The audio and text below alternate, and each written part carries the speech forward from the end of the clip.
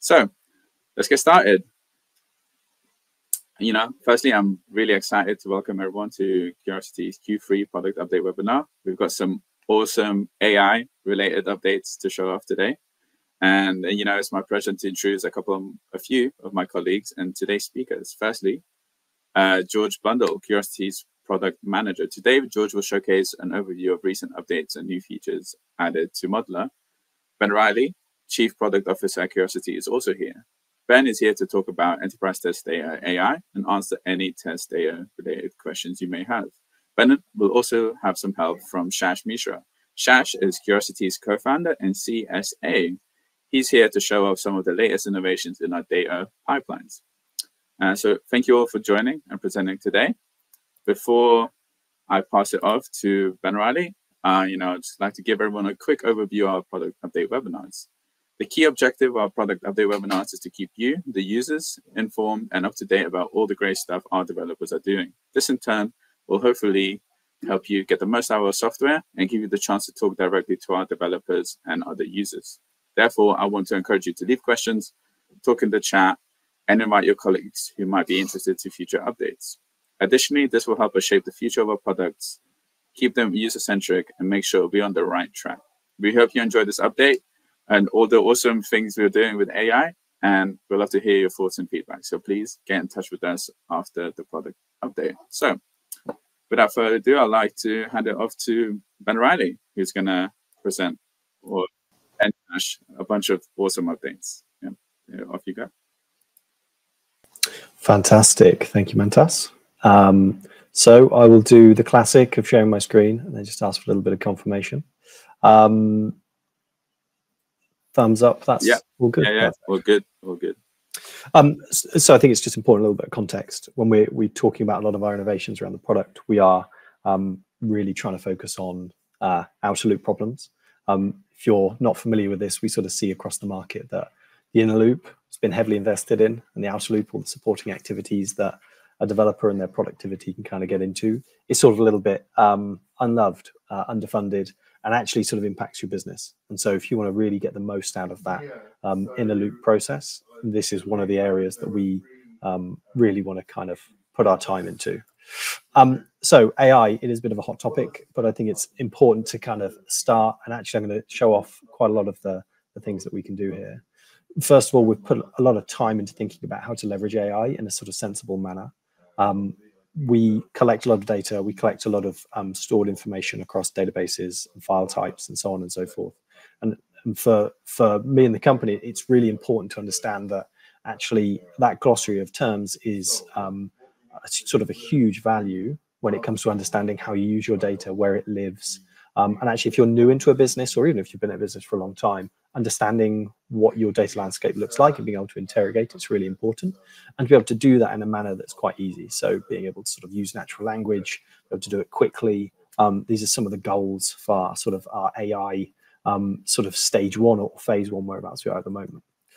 We also recognize that there's a ton of deep technical knowledge that sits in individuals right? So you've got smes you've got people who know your business very well and we want to sort of start to leverage that inside the product and give people sort of the the ability to have AI as sort of a bit of a co-pilot, a bit of a friend that they can ask questions for, that we can do sort of sensible activities around, sort of give them um, a ton of value from from learned experience, right? And from the AI learning from your systems and the things that they do.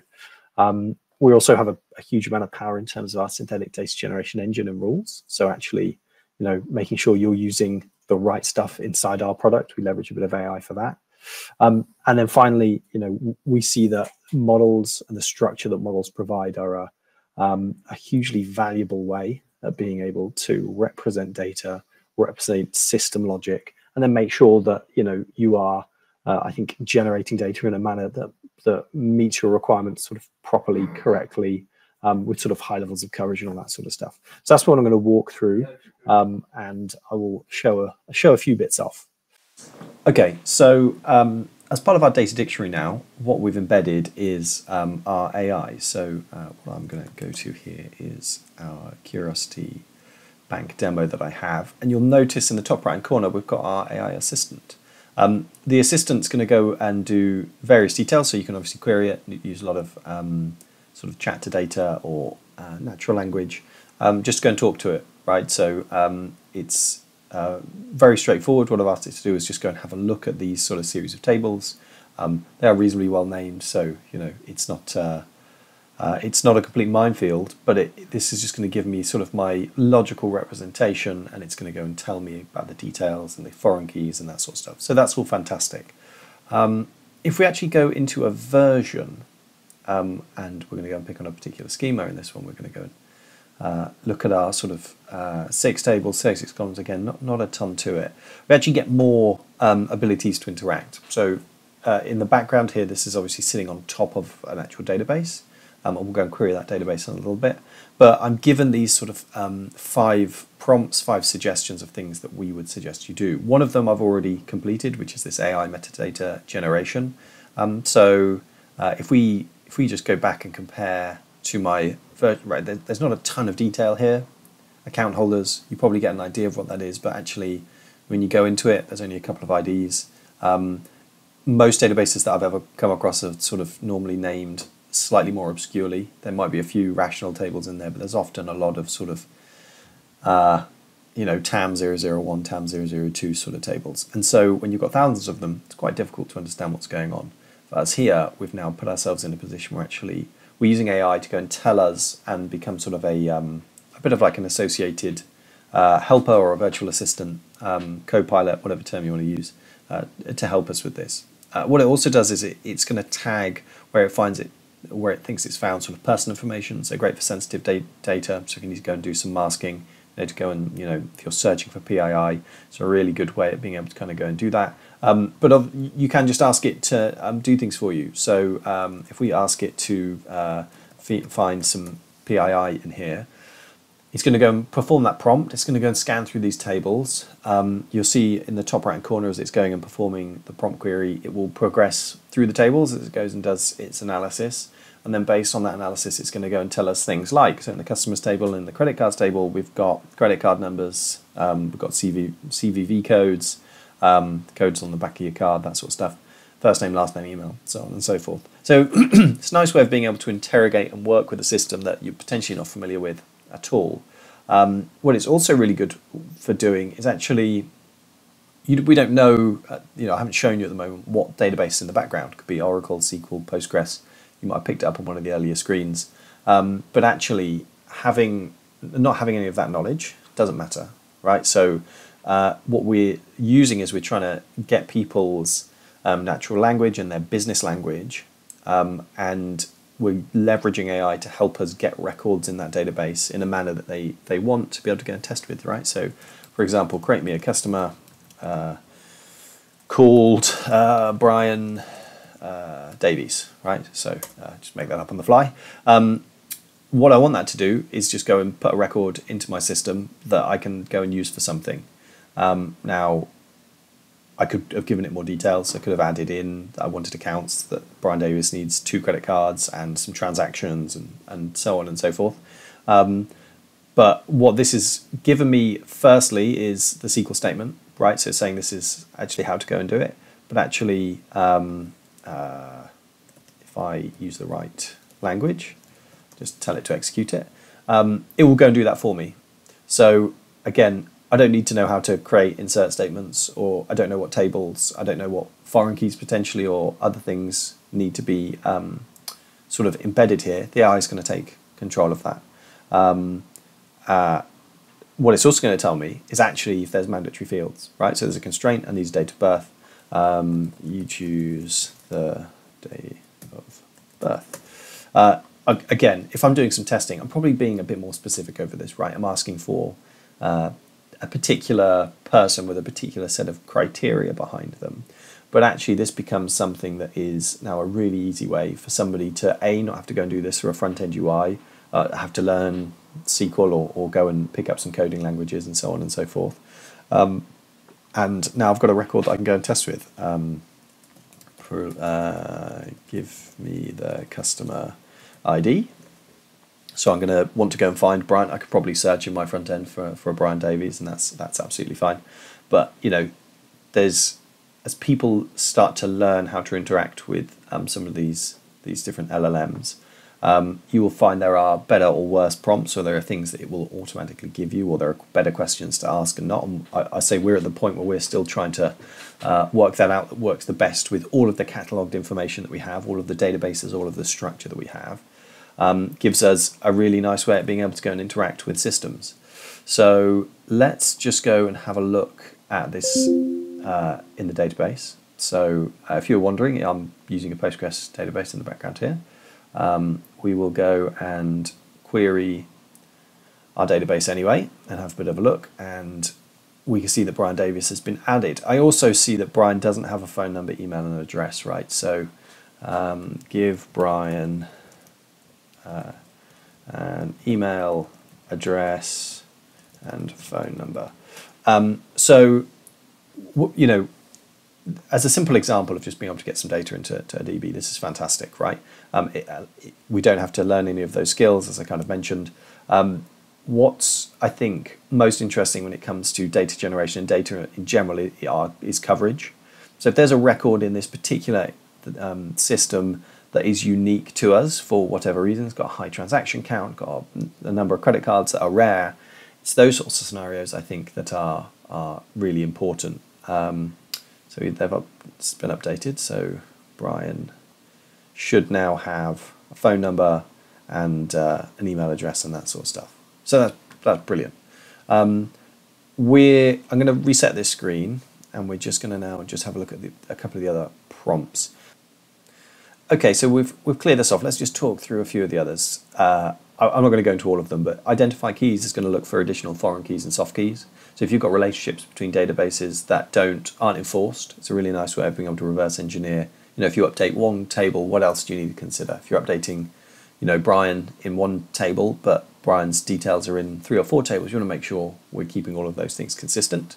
Uh, if you want to execute some SQL, that's fine. So um, find me a customer uh, in the database. I don't think I need to put that um, with transac transactions over thousand, um, something along those lines.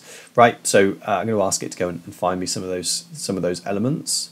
Um, whilst it's doing that, I should have opened up another screen. So let me just, I'd like just to walk you through a couple of the uh, the other prompts as we sort of go.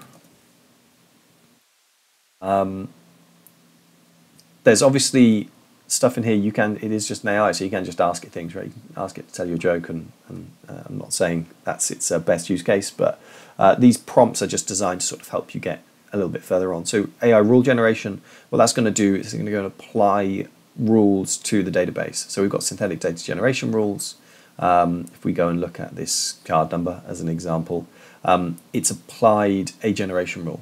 So if you want to go and recreate or create jobs that can do sort of large scale uh, synthetic data. Obviously, I, I just asked for Brian to get added into the database. Um, but you know, we are about reusability, about applying the right structure, about getting the right data into the right places. Make sure you've got the right generation rules in place. So we're leveraging AI to kind of help us do that. That's fantastic. Um, we're also looking at the metadata generation, and then of course just SQL. Right? If there's something that you want, so we're interacting with SQL databases here. We've got Postgres database and some Oracle, some uh, SQL Server, and so on and so forth. Um, but if if we take a look at the example that I've asked for, so it's just given me this query. Okay, so that's good. I can just ask it as I did before to execute that query. That's fantastic. Um, but I might just get into something a little bit more complex. So I think maybe just to sort of finish off here, um, uh, run this query, uh, give me the results in JSON. So as we look to the future and as we look to how we can use this in a more transformational way, we recognize that you know we have a ton of value when it comes to um, using structured models, so visual models to help us sort of define a requirement or a process or how it should work. Um, those are really good for things like APIs. APIs are very structured. It's really good for um, uh, AI. Um, you know, too many AI and APIs are similar, but it's good for AI, right? Because AI loves structure.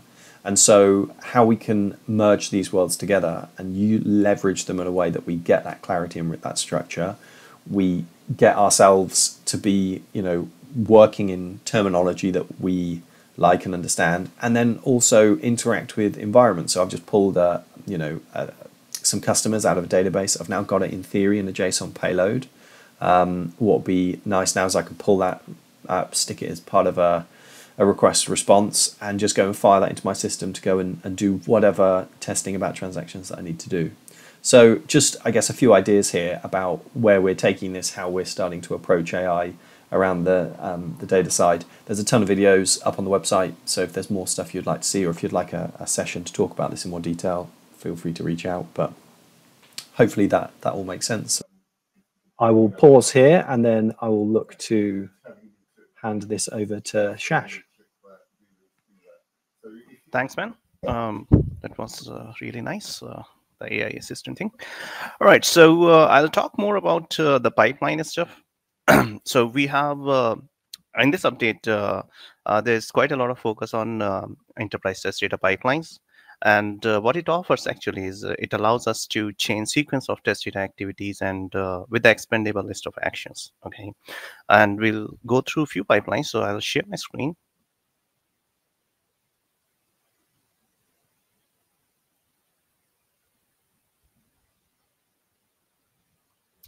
Right, is it?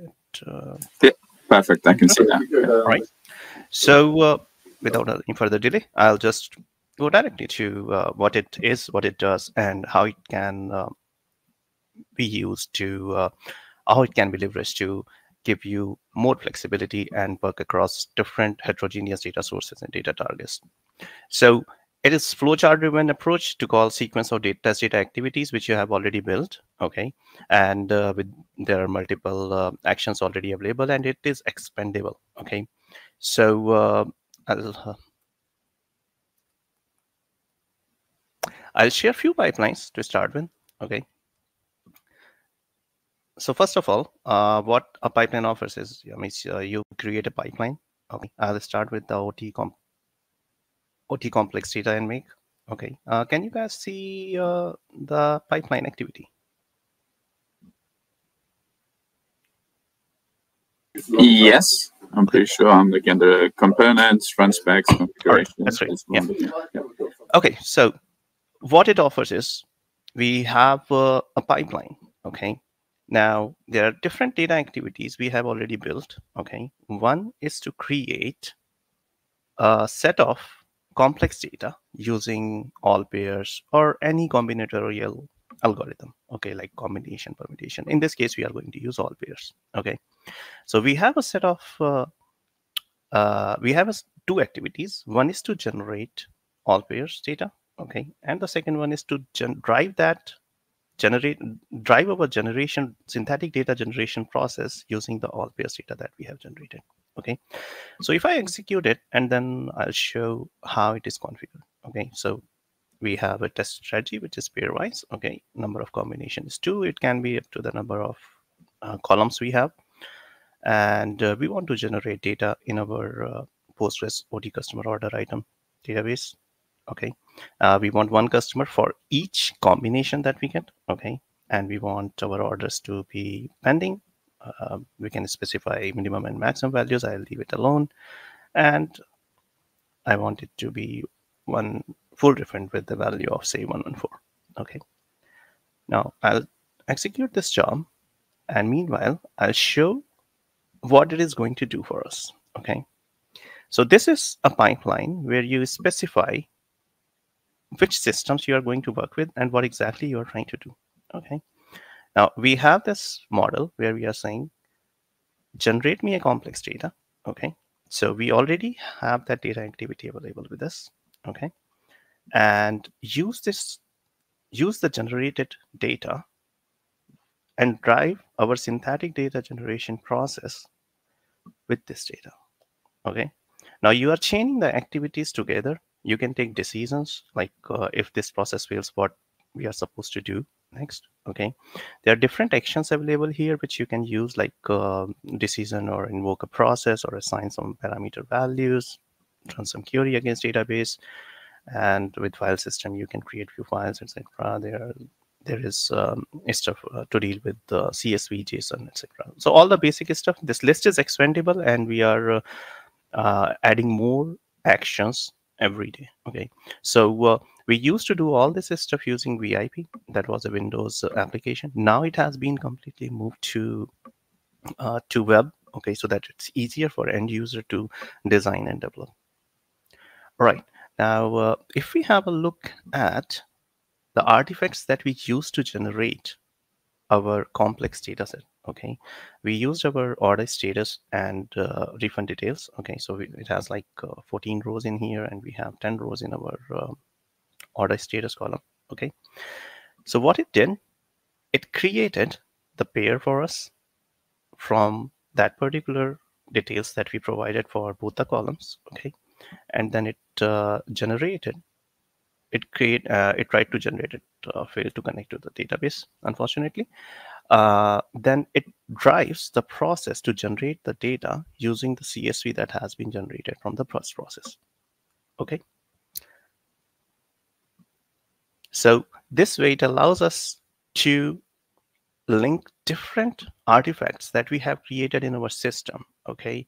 For example if we go to data activities and activity explorer so whatever activities we have already built here okay those can be leveraged and can be connected together to look at the bigger picture okay while designing this pipeline you can uh, execute it from here debug it from here okay to get uh, all sense of information what exactly is happening in the system how things are flowing down how all the data is flowing down so uh, we keep track of each and every step.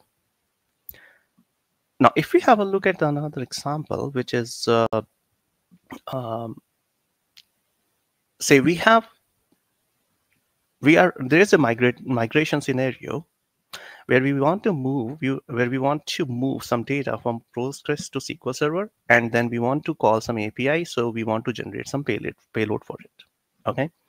So here what we are doing is we are generating some data in Postgres system, okay there is some mapping that needs to happen between when we are migrating the data from uh, postgres to sql server then we are generating the data in sql server database and then we are creating some uh, xml files to based on the generated data and maybe some information that you want to provide while creating those uh, uh xml messages okay or json messages.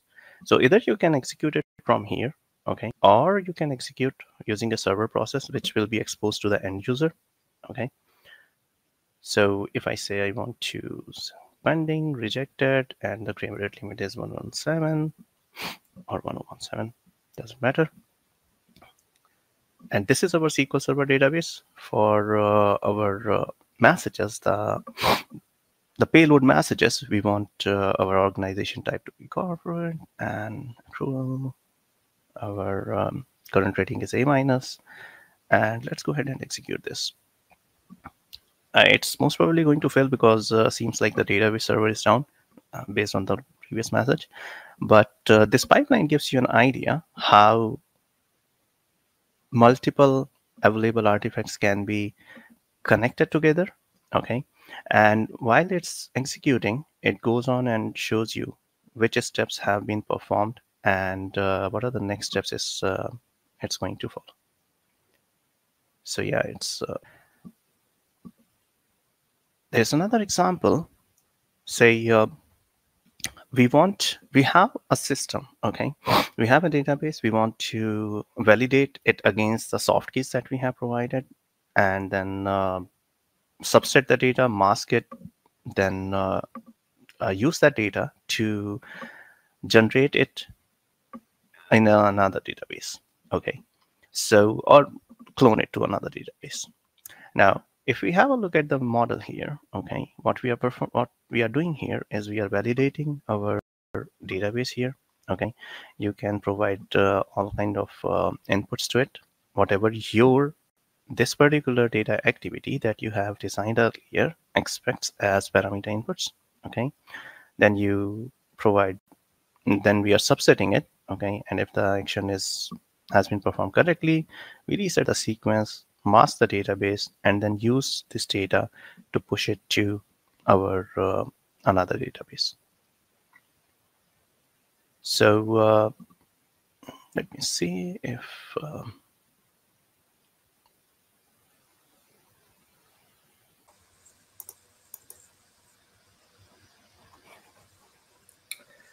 Okay, so um, yeah, just kind of running you guys through um, few of the different updates that we've been working on over the past couple of months. Um, first one to kind of touch on up here is the Kanban board. So we spent quite a bit of time actually reworking this and kind of giving it more of a, a modern look and feel. Um, this is really, really useful for people who want to use Modeler whilst tracking their work. Um, so you'll see we have these different columns and these different buckets. These basically will allow you to uh, track the model throughout its life cycle. So, you know, with yeah, as you would normally expect, right? You've got sort of the backlog phases, moving eventually to in progress when the model's been working, being worked on um, and then eventually reviewing it, done, and then either approved or, or rejected. Um, we've added lots of different UI elements into here to kind of make it feel um, nice and easy to use. Um, I think also this is a pretty important piece of the puzzle of, of making sure that people know what they're doing within the tool um, and also kind of monitoring what people are doing as well. So as you'll see here by these couple of screenshots, um, I can focus in on what Mantas has working is working on at the moment, or I can uh, look, for example, here at the top uh, at basically what what I'm working on and kind of help track that throughout the different cycles. Um, and then the second update, core update to to look at or to sort of talk about really is the um, uh, requirements to models in our modeler AI piece. So over the last couple of product update webinars, and you've probably seen in some of our marketing material as well. Um, we released the um, sort of initial version of Modeler AI. Um, that's essentially uh, an AI-enabled um, quality modeler. So having AI assistance along the way to help you model, um, kind of reduce those barriers to entry to modeling um, and actually kind of be, being that massive accelerator as well. So making people get to value faster. So actually being, you know, going from this, what could be quite a, a chunky, in this instance, requirement document um, into something that is visual and, and can describe like a larger end-to-end process. Um, so th this is one of the kind of the, the feature of many features, to be honest, we, we have added and we will be adding on the modeler AI front. Um, so again, similarly to our enterprise test data AI offering. If you anybody is particularly interested or wants to see it in more detail, um, then then please do reach out. And we've been working on lots more. Um, so in our knowledge base, you can go through and have a look at some of the key headlines and some of the key things that that we've been working on on the modeler side of things. Um, and yeah, I mean, there's a lot more a lot more to come in in, in Q4 and beyond. So um, yeah, we'll hope to hope to give you some more updates uh, at the end of uh, at the end of Q4. So a bit brief there, but Mantas, thanks, thanks very much. Awesome. Cheers, George. Cool. So getting back to where we were. So, uh, I mean, I hope everyone's enjoyed the updates and thank you, Ben, uh, Shash, and George for presenting. Uh, you know, if you have any questions, please leave them in the Q and A box. Um, so I do have a question, Ben. Uh, are there any uh, sneak peeks uh, of upcoming updates you can give us? Anything to look out for, apart from, of course, enterprise test AI capabilities? So I would say there's a there's a couple of bits that we are excited and we're sort of actively planning for. Um, I actually say the AI stuff is much further ahead than uh, we thought it would be. We were really sort of trying to take that to the next level and sort of discussing with a lot of um, active customers at the moment around what does that future look like? Where are some of the key sort of um, pieces to go and tackle? Uh, data cloning is something that does seem to kind of crop up in uh, uh, as, as an element, as we sort of did this morning. Uh, it's already kind of there. So it, it's amazing how we can kind of leverage it alongside of our tooling to, to really push us along. Um, the I think the the other side of things of really trying to um, sort of learn from ourselves in terms of we're trying to give our user base the ability to leverage our platform in conjunction with AI um, to have this sort of virtual data engineer. I think that's a concept to, to help remove silos to make sure that requirements are up to date, that we are getting high data coverage and high testing. So sort of one of our core goals and something that we're going to sort of actively work on over the next quarter. You should see a ton of, if you follow myself or James or George, uh, or the Curiosity account on LinkedIn, we post there quite a lot in terms of these updates and, and certainly will be. And, uh, you know, if you're, if you're interested, if you've got ideas, if there are things you want to discuss privately off uh, off this sort of call, feel free to reach out to myself, um, George or Mantas. Happy to schedule a session and, and see what's sort of most beneficial for for you guys and how you're using the product. So, some really exciting stuff on the future uh, in the future. And the good news is it's actually we're right at the cusp of it. So, yeah, very exciting. Right. Awesome. Thank you, Ben. We do have a lot of promotional uh, marketing demos and bite-sized videos that we have produced for enterprise test data AI, quality quality Modeller AI capabilities that uh, I'm just going to make sure to include in tomorrow's follow-up uh, alongside the recording and slides. Uh, so please look out for that. Additionally, we are hosting a webinar in October on the new era of test data, where we'll be exploring all things test data, right? But also making, you know, we'll be showing off a lot of these AI features in that webinar as well. So please, uh, you know, head to our website, go follow us on, you know, socials to find those. And I think uh, that's that. So I'm to start wrap it up here. So thanks again for everyone who joined and for the questions and my colleagues for the great presentation. If you'd like to carry on the conversation, following the product update, there are a number of ways you can get in touch. If you'd like to learn more or still have questions, please get in touch with either George or Ben via email. If you know a colleague who might be interested in our product updates, then please share the recording and future updates with them. And finally, please follow Curiosity on LinkedIn and Twitter or visit our website to stay up to date with our latest updates. All of these links and slides will be shared with you in an email follow-up tomorrow. I'll, again, like I said, I'll also share a range of videos and playlists that highlight a lot of the updates that we featured uh, today, but that might not be public yet. Uh, so please look out for those if you want to learn more. Those will be a great resource for you to uh, watch. Cool. And details on the upcoming Q4 2024 product update webinar will also be shared soon. So look out for your email invitations. And yeah, I think all that remains to be said is a huge thank you to everyone for joining and a massive thank you to George and Ben for presenting today and Shash. So cool. Thank you. See you in our next product update webinar. Cheers. Thanks, everybody.